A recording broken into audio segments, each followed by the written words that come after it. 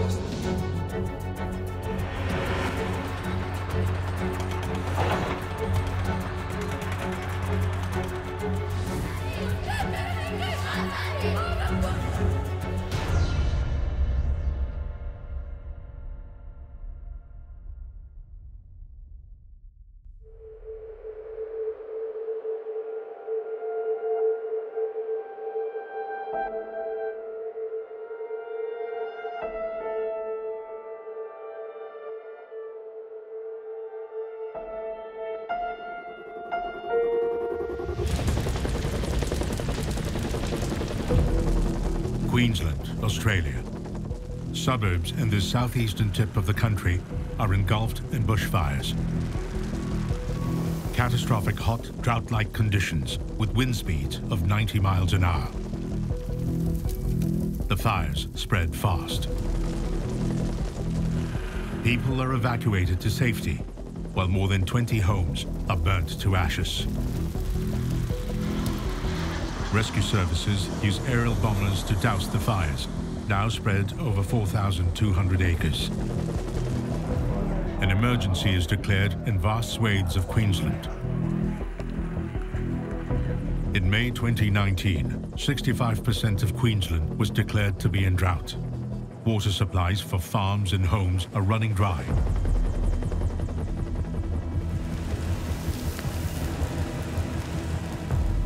We travelled to Stanthorpe, a suburban town two hours from Brisbane, to investigate the impact of this heatwave.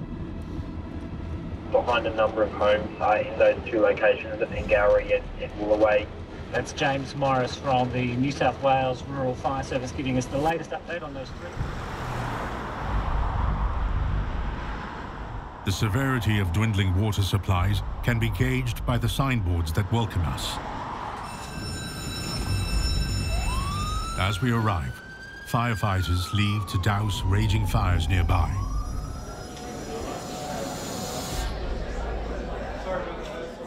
Stanthorpe's community meeting is called.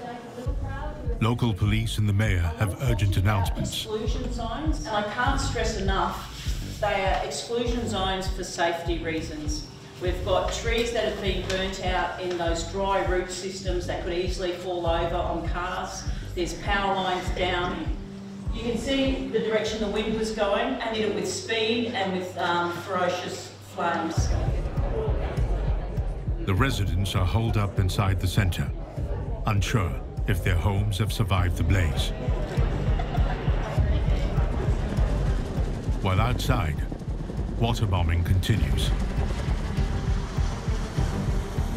As fires briefly subside, 70-year-old Kerry Stratford is allowed back into her home. This was all I light on Friday night. I watched all this burn. And that house that's up the top there is called the Eagle's Nest. And I'm surprised the Eagle Nest escaped because that was just burning. They had to call the fireys back there yesterday to put some stuff out. But it got up to there, it stopped there. So there must have been a heap of fireys here. See that brown thing behind those rocks? That's melted. There's a little car. That's a water tank. It's melted. The top of it's melted there's water in it. That's how, that's how hot the fire was. Kerry's home miraculously survived. The fire stopped a few metres from where she lives. When you're faced with not having a home to come back with, and that's the thing, that's still getting to me, how lucky I am that my home survived. I've got my late husband's voice on that. That's the only thing I've got of hearing him talk. And that was when it snowed here on the 17th of August 2015. That's when it snowed. They evacuated those people out of there. The hardest thing is when you get the knock on the door. You know it's coming from the police saying, get out.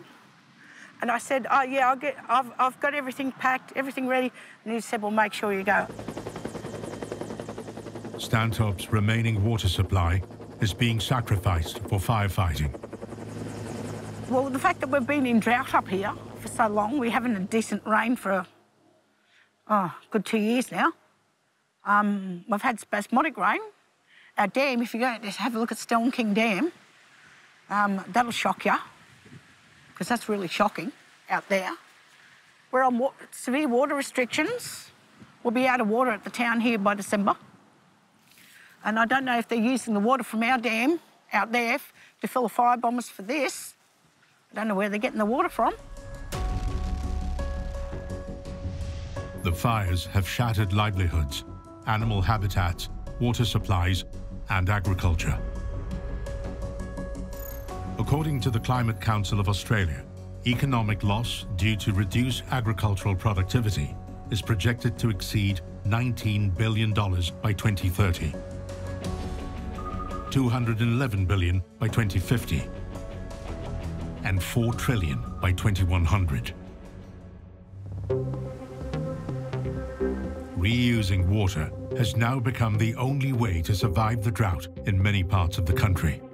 Still my bath water's in there, because I saved that. Right, and then I use my bucket that I've got there. In my washing machine, I'll have to give that a rinse out. There's, there's all ash inside there from the fire from the ash that come through. So I bucket it with that bucket in there, wash my clothes in it, hang it out, then put it out into the bucket and then it goes on what plants I've got to keep alive. That's the only way you water plants. You're not allowed to outside water your plants. There's no doubt the climate is evolving. It is changing. But I know that we're getting a few degrees warmer each year. You know, we've, we've noticed a big increase in the, in, in the global warming. But I don't know how you stop that. Um, there's something definitely happening with the Earth. The State of the Climate 2018 report for Australia reveals a land surface temperature increase of 1 degree Celsius. That's led to hot, dry conditions, perfect for bushfires. The science was saying then that if we keep putting carbon dioxide and methane into the atmosphere, the temperature will steadily increase there will be more frequent extremes, more very hot days. There'll be changes to rainfall patterns. So the science was saying 30 years ago that Perth, Adelaide, Melbourne, the southern cities of Australia would get drier, and that's all happened. Already, Australia is ranked the seventh highest carbon emitter per capita. One big reason, coal-fired power plants. Coal provides fuel for about 70% of electricity production in Australia. A majority of these plants are located in the state of Queensland. The state has a historical relationship with coal. Mining began here in the 18th century. Behind most coal mining operations lay years of struggle and toil. This coal earned royalties for the Queensland government and sparked development across the country. But today, the region is a shadow of its past, with coal jobs lost to automation. Still, coal production continues to grow to feed a hungry market abroad. Now, instead of reducing Australia's carbon footprint, the Queensland Premier has promised to open new coal mines in her state. It's part of Annastacia Palaszczuk's plan to create thousands of new jobs. But at what price? Australia is the world's largest exporter of coal, a commodity that's aided the rise in temperatures worldwide. Coal-fired electricity generation accounted for 30% of global CO2 emissions, according to the International Energy Agency, resulting in record temperatures of 40 degrees Celsius in Australia, leaving the residents of Stanthorpe desperate for water.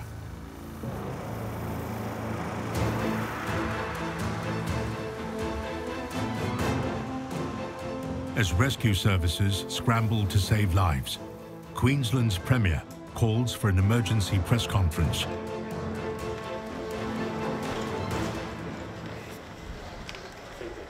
So we have uh, a number of families at the moment that are actually going through um, some really traumatic times. So we are in the process of trying to reach those families. We understand that they're all safe, but they will be going through um, a lot of grief at the moment, and I know that our community will pull together and uh, definitely make sure that they get back on their feet.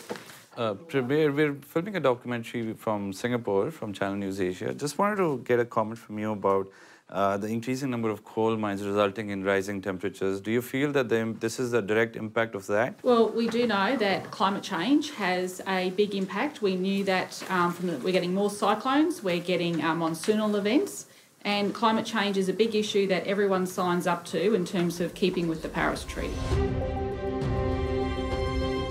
But the latest addition to Queensland's coal industry has incensed thousands of anti-coal protesters across the country.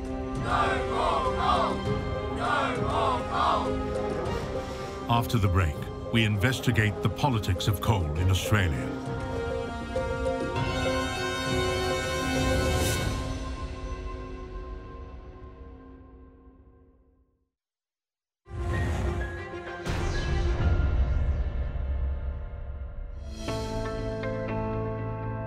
Two-thirds of extreme weather events in the last 20 years were caused by human activities. The Paris Agreement signed in 2016 aimed to curb emissions to minimize temperature rise by 1.5 degrees. If current trends continue, the world is likely to pass the 1.5 degrees Celsius mark between 2030 and 2052, unless it finds a way to reach net zero emissions. Amid this alarming situation, the state of Queensland announced new coal mines to boost the economy and create jobs. That's when Indian billionaire Gautam Adani announced plans to build a mine at Carmichael, a rural outpost in the Australian outback. At the time, Carmichael was to excavate 60 million tonnes of coal a year. That figure has since been scaled down. In effect, what we're building now is a 10 million tonne per annum coal mine. We're just one of 125 operating coal mines in Australia. We'll be building 200 kilometres of green, greenfield rail construction to tie into the existing network. So combined, that will represent around uh, $2 billion Australian investment uh, to be able to get us into production, and we'll see that coming online in 2021. The mine would be located on the Galilee Basin, 160 kilometres northwest of Clermont. It will also feature a rail line connecting the mine to the Abbott Point terminal. The opening of the Carmichael mine is expected to attract more investments in the mining sector, which activists say would increase greenhouse emissions that trap heat and make the planet warmer. Roughly 30% of the world's greenhouse gas emissions came from electricity production from coal and gas in 2018. Australia's mining sector, once the backbone of the economy, is in a long, protracted slump. I think a lot more businesses are going to close, which a lot have already closed, haven't they? They've had to close their doors because of, the, there's no people in the town. People have to move away because there is nothing here, you know. Um, so the younger generation's got no future. Yeah, that's right. The younger generation of Bowen, they've got nothing. What do they turn to? Well, look around. I mean, the town's dead, completely, completely dead, and uh, the town needs employment real bad. There's nothing here for the younger generation. They all leave town. Adani announced thousands of jobs to be created over the next few years. A prospect much welcomed by the mining community. Pro-Adani movement was centred around jobs, uh, jobs for the community. Um, Clermont's a very strong mining town. I think it was founded uh, on copper mining back in the 1800s and obviously then gold. And the people of Clermont, following the investment and in town um, and the ability for those people to gain jobs, um, was very pro Adani, I think. I, I believe that mining's important. I, I don't think that it's sustainable to think that we can go straight from coal fired power to natural resources like wind or solar but I think they should work hand in hand. A number of people locally uh, work in the mining industry, so uh, a lot of them are, are, quite keen, I believe, to get more jobs going um, in that area. Unemployment here hovers above 9%, compared to around 6% in Queensland as a whole. That's why Bruce Hedditch is busy promoting the Adani mine. He started the Go Adani campaign. It's going to generate a lot of job opportunities for central Queensland. The Queensland government last year received $3.8 billion in coal royalties from, from, uh, from uh, coal mines throughout this state. $3.8 billion. Uh, next year, the Queensland Government will spend $3.9 billion on interest on loans. Now, the opponents of Adani and coal are asking us as a community to stop coal exports, stop the royalties coming through. I would love someone to tell me where the $3.8 billion is going to come from. For a town devoid of jobs, it's a polarising question of unemployment versus the environment. There are questions about whether or not the mine will pay appropriate royalties or any royalties to our state government and uh, huge concerns about the fact that there won't be that many jobs provided and that the company has effectively massively exaggerating uh, exaggerated the jobs that they say it would it would provide. Adani's initial promise of thousands of new jobs was challenged by a court testimony. An affidavit alleged that Adani Mining's billion-dollar Carmichael coal project would have 483 full-time equivalent jobs, while Queensland as a whole would have 1,206 full-time equivalent jobs. We'll see over 1,500 uh, direct jobs created during the ramp-up and construction for the mine and rail, and a further 6,750 indirect jobs. So in total, what we're talking about is 8,250 jobs invest in, injected into the Australian economy, in particular in regional Queensland, and, and specifically in areas that have typically got high levels of unemployment. And we're talking about areas that have approached close to 10% levels of unemployment. So the project's certainly very important for Australia and for Queensland and regional Queensland as it relates to jobs. Jobs aside, TV journalist Mark Willesee has news that's far less hopeful. He tracked developments on Adani mining elsewhere. The company was charged in Zambia with polluting a major river and convicted. Um, under Australian law, if you um, have any convictions or issues involving mining and you're in charge, you have to declare that. That was not declared by this particular Adani executive at the time, and that culminated recently with Adani being charged and it's going to be prosecuted for supplying false and misleading information to the state government here in Queensland. The state of Queensland imposed hundreds of environmental conditions for the Carmichael mine to adhere to. Particular attention was paid to Adani's surface water use and the mine's proximity to the Great Artesian Basin. The Great Artesian Basin is the biggest underwater resource in the world, stretching over 1.7 million square kilometers. It is 3,000 meters deep in places and is estimated to contain 65,000 cubic kilometers of groundwater. The basin provides the only source of fresh water to much of inland Australia. Underground coal mines rely on water to reduce the risk of fires or explosions by using it to cool the cutting surfaces of mining equipment and prevent coal dust from catching fire. So we know about water being very precious.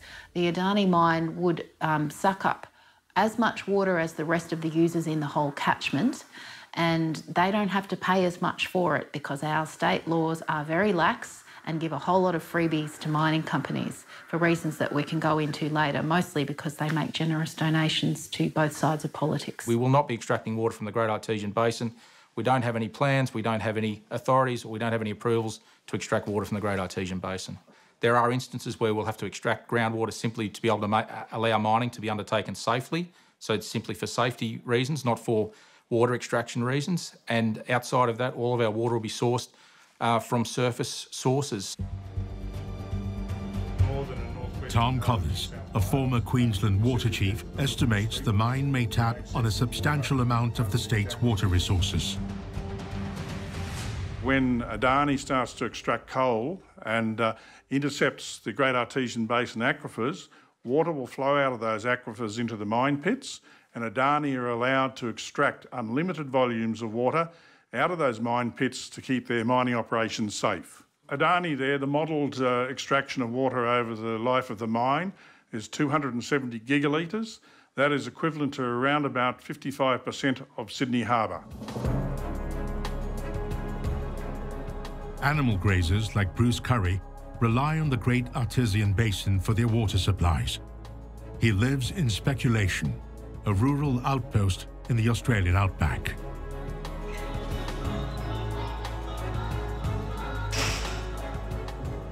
People can't exist without water. If you want to know what I'm talking about, turn your water supply off for two days and try and survive, regardless of where you are. Because what's happening here, they're turning our water off for perpetuity. When they destroy it, it's gone forever. Along with wife Annette, the Curries have been running this farmland for generations. This is the coal seam they, they want to dig out. It's the D coal seam. This is where we draw our water from, which is the clematis sandstone, and that is part of the feed into the Great Artesian Basin. The only thing is, once they, they mine that coal seam out, they have a process called longwall mining. And what it does is once the coal comes out, they just collapse all the strata above it. So what that'll do, it'll drain that clematis sandstone. So basically, it'll destroy our water supply and it'll destroy part of the feed into the Great Artesian Basin and uh, which will impact on the integrity of the Great Artesian Basin.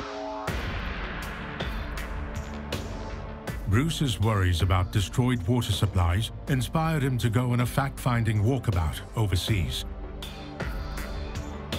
He wanted to see what the future of speculation might look like, way out in India. I went to India a few years ago to actually have a look at the uh, Adani operation and to talk to, my main concern was to talk to communities and farmers over in that area and um, get a, a good understanding of the company that would be coming. When I was in India, we went to uh, the Adani Special Economic Zone up there in the Gulf of Kutch and I spoke to fishermen there and they highlighted to me there the pressures and the, the uh, impacts that they're suffering because the Tatas as well as the Adanis have built a power station there. They actually release their hot water out into the ocean and which kills the um, juvenile fish, fish eggs, and has a, a big impact on the, the, fishing communities that are trying to survive on that source of income. They're also not doing anything about the fly ash that's coming out of their smoke, their, the stacks of the power station, and that fly ash is going across farmers' lands. Bruce is unsure if similar damage to the Great Artesian Basin is reversible. Once the mine starts and the dewatering starts, uh, whether that their findings are accurate or not, they cannot repair the damage. And the water is mined forever. It's lost for perpetuity. Regardless of how big their mistake is, they cannot rectify it. They cannot correct it, and the impacts is there for perpetuity. As the climate gets hotter and drier, water is even more precious. Farmers like Bruce want their groundwater to be protected from any damage. It is a shame that more people aren't aware of what the Great Artesian Basin's all about. It's you know one of the biggest freshwater underground freshwater sources in the world, and it's not polluted, it's not contaminated. It's environmental terrorism. But the money we've made and the life we've lived on spec, and to think that they can just through the flick of a pen, take that away from us. Not fair and it's not right. Like when you went to India to have a look at those poor farmers over there, I don't begin to understand how that has affected their family. What will we do? After a prolonged legal battle, the Adani Carmichael mine has received the environmental clearances it needs. But the opposition to its construction continues. After the break, we go underwater to investigate the impact of rising greenhouse gases on the Great Barrier Reef. There's parts of the Great Barrier Reef where you can uh, drive on a boat or, or swim for kilometres without seeing a living coral.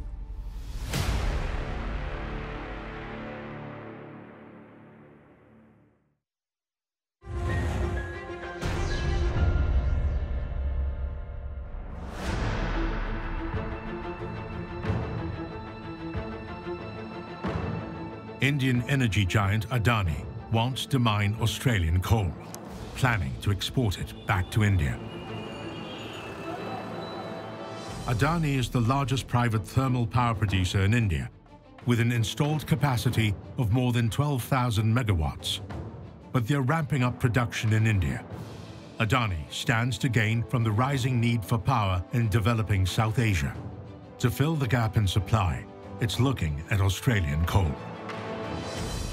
Our coal will be shipped through uh, Abbott Point port operations. It's been operating for over 35 years in an environmentally responsible way. There's thousands of ship movements through the Great Barrier Reef every year.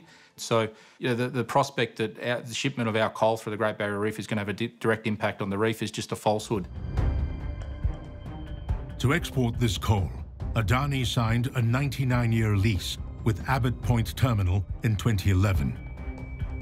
The deal cost Adani roughly 2 billion Australian dollars. A few years back, there was a plan for massive expansion of ports in the Great Barrier Reef, and there's basically six big ports already. And there was a hope by industry, um, with their hand being held by government, to expand those ports to ship more coal out and more liquefied natural gas out through the Great Barrier Reef to world export markets. Now, the problem with making ports uh, bigger and deeper is that it requires a huge amount of dredging.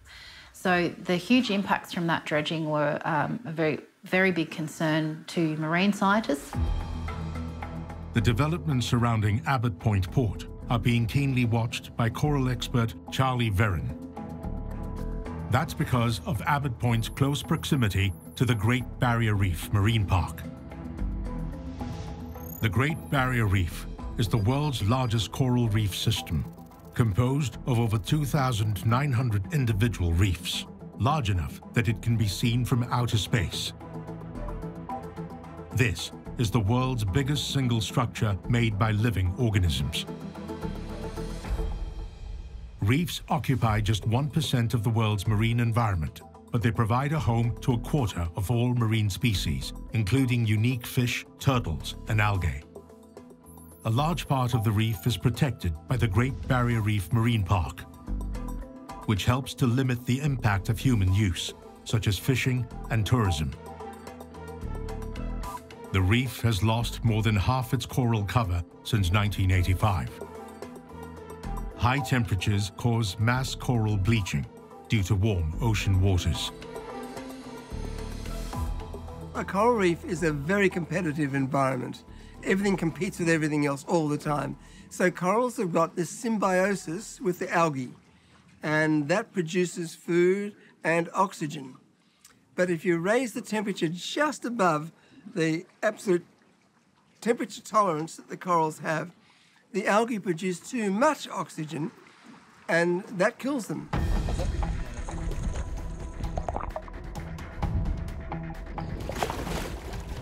We head out to investigate the effects of rising temperatures on the Great Barrier Reef. Charlie Veron is out to collect evidence. He's hoping the remaining reef might be spared from rising temperatures. There's parts of the Great Barrier Reef where you can uh, drive in a boat or, or swim for kilometres without seeing a living coral. So the worst affected is total death of the whole reef. And we see that in a few reefs, uh, but the majority of reefs of the Great Barrier Reef have not been wiped out by any means, but they have been quite severely damaged. Reefs protect coastlines from flooding during extreme storms, which is why saving corals is critical. As the seas warm, and they're warming gradually every year, the, the increase that threatens corals warms incrementally just each year. It gets more and more threatening. And whether that kills the coral or not depends on the amount of time it's exposed to these maximum conditions, maximum temperature conditions. That varies in patches all over the ocean surface, and it, but it is increasing year by year, and that will continue.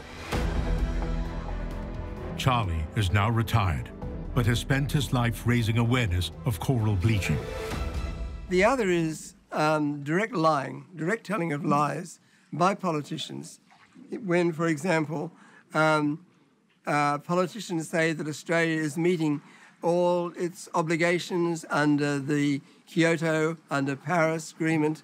Um, Australia is going absolutely nowhere near meeting its obligations. Now, it is not possible for a politician to, to not know the truth because scientists know the truth. Scientists tell the politicians. It's all in publications of all different levels.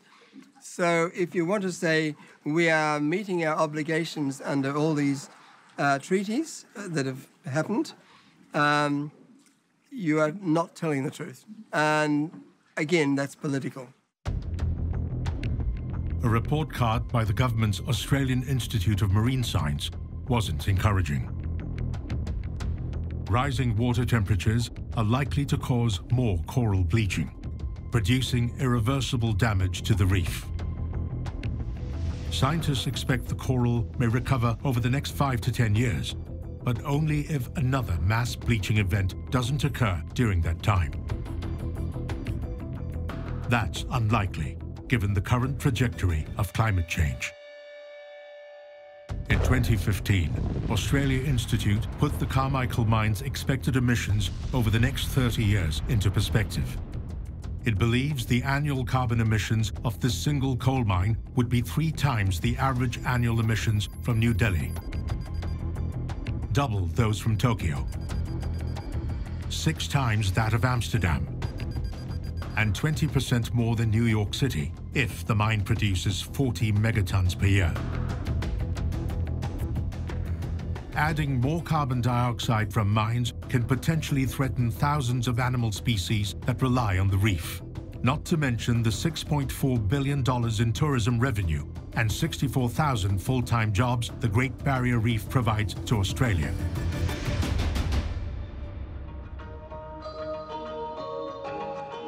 Tourism operator Lindsay Simpson is concerned about her livelihood.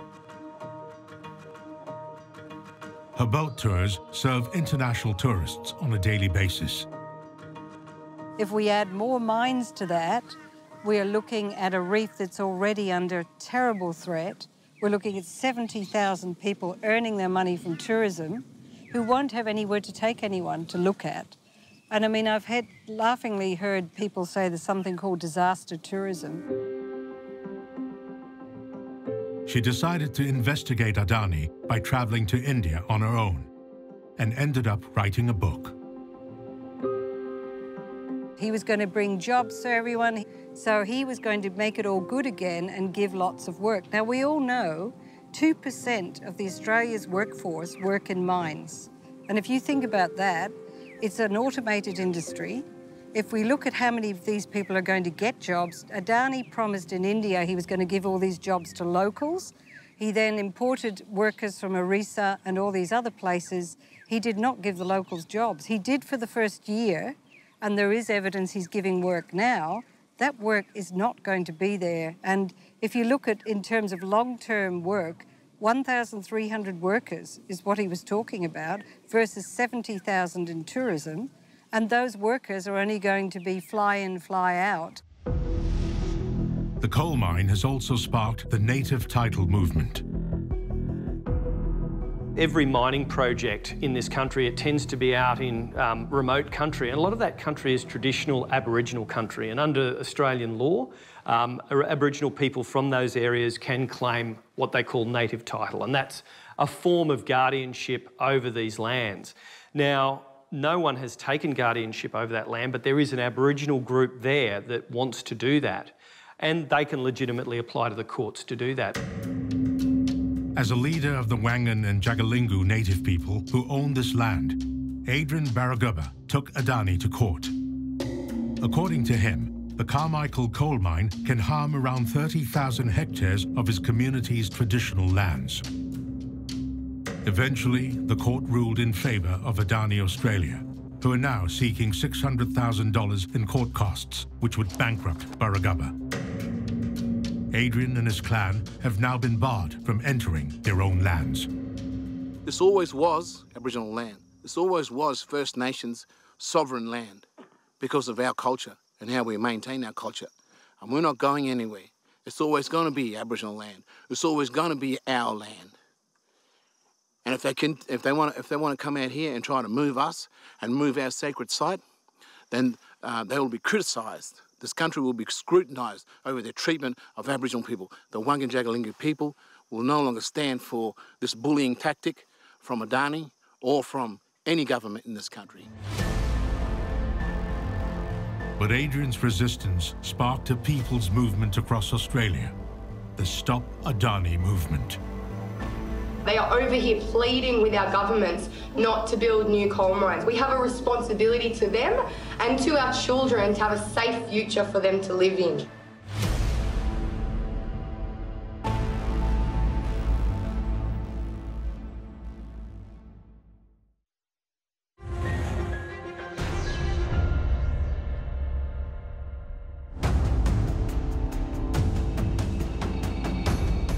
The opposition to Adani's Carmichael mine has sparked a grassroots environmental movement across Australia. A loose group of environmental activists, students and common folk coming together to pressurize Adani to stop the mine.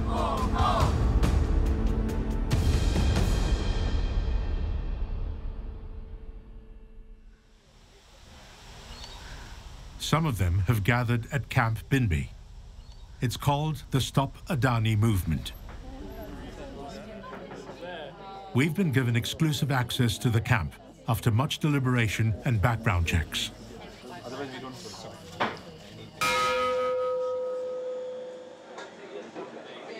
Twenty-three-year-old Amy Booth used to live in Victoria, but decided to join the Stop Adani movement in the Australian outback. People are going to be displaced by the climate crisis, so I felt that me working um, in the city, taking sort of doing business as usual, working nine to five, just isn't where I want to be right now. We have a moral obligation to, to act and to stop this mine and to stop other environmental problems going ahead.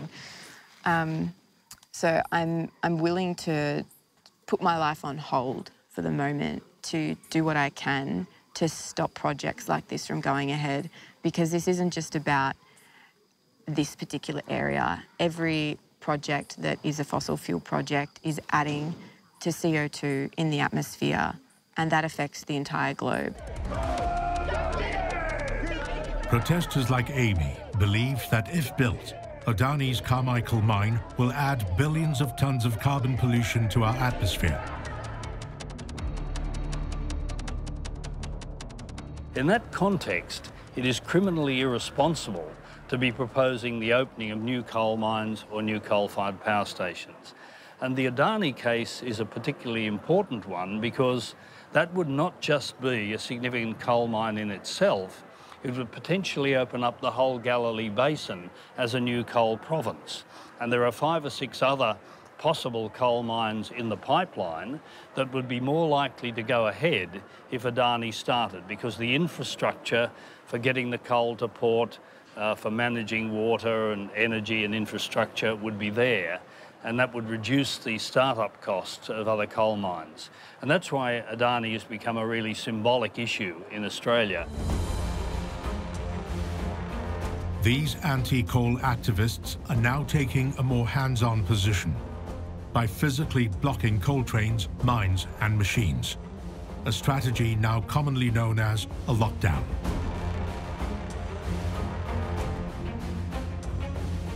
On 22 July 2019, protesters set up a blockade outside the Abbott Point port. About 20 members of the environmental group gathered outside the port entrance at 7 a.m.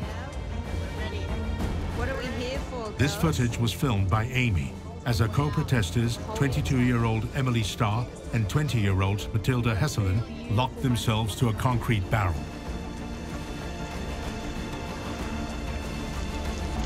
We wanted to start acting to show that we weren't gonna let we weren't gonna sit by and let this just happen.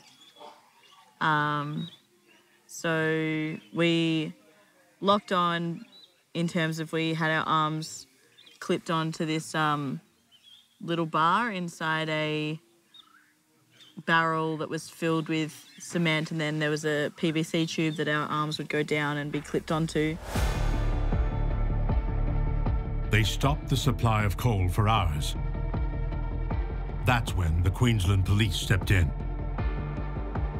As tension mounted, a French television crew filmed the action from the side. I was willing to be arrested, which I was, because a short-term inconvenience of being arrested and being given a fine is okay with me because the long-term benefit of stopping this mine from going ahead will be amazing. Amy continued filming events that day.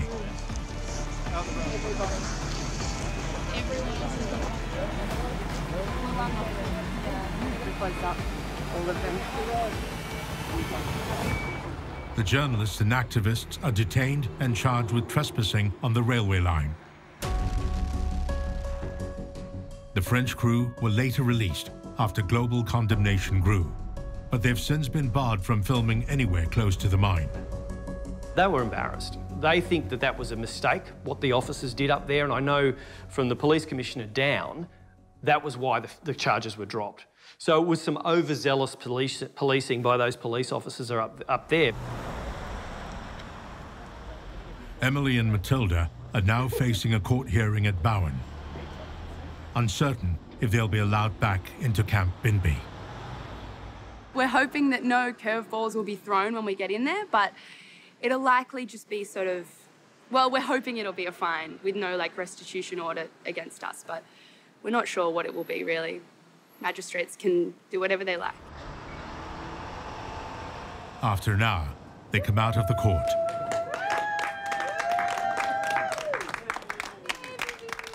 I felt like he understood our passion as well, which I think was really important. I really liked hearing that he did understand that. Even if he didn't necessarily agree with it. Yeah, yeah. I think that in Australia we have a huge problem, and in many places around the world we have a huge problem where the political systems are broken and that's why we've come to do these kind of actions because we feel like these are the only sort of things that can put enough pressure on political systems to fundamentally change rather than just sort of put a band-aid on the issue. we're at a critical point in history. There's no doubt that in ecological terms, we're booked on the Titanic. We're heading for the iceberg. And there are still irresponsible people, both literally and metaphorically, throwing coal in the boilers as if they wanted to get there faster. Coal particulates pollution is estimated to shorten some 1 million lives annually worldwide. One study even estimates premature deaths arising from coal-related air pollution could be as high as 52,000 people worldwide. But with solar and wind power slowly creeping up, there's been positive change. Coal's use has been on the decline in Europe and the US amid cheaper alternatives. Adani Australia is promoting solar power as a means to bridge the gap between coal emissions and the global push towards renewable energy. Rugby Run, which has an initial capacity of 65 megawatts, is located near Moranbah. It's not a question of renewables or coal, it's renewables and coal. And so from our perspective, we've already we've got under over 2,385 megawatts under uh, under operation uh, in relation to solar, we've got another 2,340 megawatts currently under construction of solar capacity. So in short, uh, you know we've got uh, in excess of 4,700 megawatts of renewables capacity in our portfolio. That's a mixture of, of solar, principally solar, but we've also got hybrid in there as well, including wind. So we see that uh, moving forward, in order to meet the developing world's energy demand requirements, it's going to continue to require underpinning baseload coal-fired power generation, in addition to renewables through the likes of solar, wind, um, hydro and so forth. Many believe the solution to Australia's coal dependence has to come from within the political sphere. The Australian Greens run on four core values ecological sustainability, social justice, grassroots democracy, and peace and non-violence. We were just sitting in Parliament, and the best thing about that whole experience was that we could hear you more than we could hear them. Which is frankly what Parliament should be about. It should be about the people's voice being heard. The Greens have a plan to phase out coal and create a jobs boom in the renewable energy export industry. We have great economic potential in clean energy here in Queensland, in Australia, globally. We know that there's more jobs in renewables. We know that um, renewable energy can do the job. We've now got the battery storage, the solar thermal, the ways of making clean energy at 24 7 and dispatchable. There is no reason to not go down that path and actually safeguard humanity. Australia's current bushfire season has taken 12 lives destroyed millions of hectares of land and wiped out nearly 500 million animals, with no signs of rains or temperatures subsiding. Stopping global warming will require coordinated policies by national, state and local governments. And the development of climate-friendly energy policies that are backed by politicians and activists alike. Before time runs out, and the irreversible effects of climate change impact the very existence of humankind.